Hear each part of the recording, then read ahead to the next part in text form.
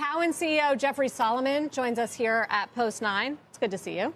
Good to see you too, Sarah. So, are you rethinking what kind of year we're going to have based on the rethink for economic data and what the Fed is doing? No, actually. And the reason is uh, when I was here in January, we talked a little bit about this. Like, I think the Fed couldn't have been, couldn't be more clear rates are going to be higher for longer. I heard Howard talk about it a little earlier. Like, I totally agree. Like, he's been very clear. And actually, I think that has a stabilizing effect because when Powell comes in and is super consistent about what they're going to be doing with rates, the market actually gets around it much more quickly.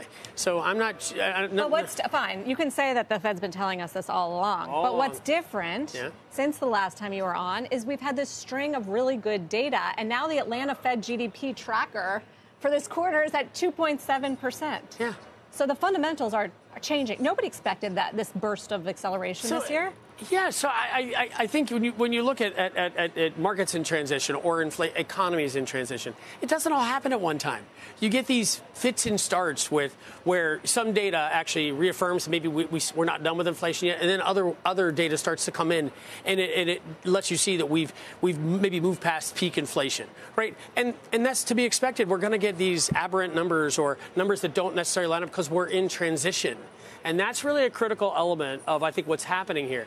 The labor market's super tight, right? We know, we that, know that, right? yes. And so every time we get a strong labor number, the market freaks out a little bit. I'm like, hey, the, the labor markets are super tight. And the Fed is going to stay there with their foot on the labor markets until they can see some loosening of that. So is it going to be a tough year for the markets?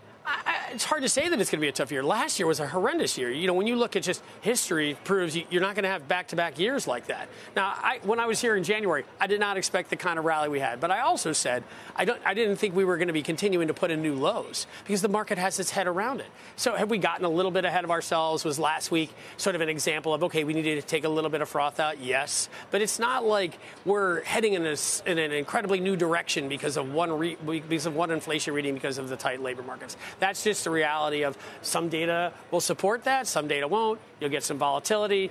That's what makes cool markets. as a cucumber, Jeff Nothing bothers me. You know, you mentioned aberrant data, and one of my favorite lines this morning is a note that says, "Are we really meant to believe that U.S. consumers purchased more goods and services in January than any month in 22?" Probably not. I mean, the, it's it's the, been the magnitude of the aberration that has people confused, right? Yeah. So again, I, I do not have all that data. We, we, what we see at Cowen a little bit is we definitely see softening of demand. Like I, I, don't know where that data comes from. The stuff that we're seeing, and, and, and what we're seeing again from companies like Target or Walmart or Home Depot, is that there actually is some slackening in demand. Right. Those are pretty fundamental bellwethers. Like I don't think we necessarily need to overlook at every piece of data that comes in and over analyze it. You can take a look at the aggregate, particularly retail sales, and it suggests to you, yeah, there's been a slackening of demand a little bit, right? Or at least not an acceleration of demand. And so I look at that in the aggregate. I'm like, those people know more than I know.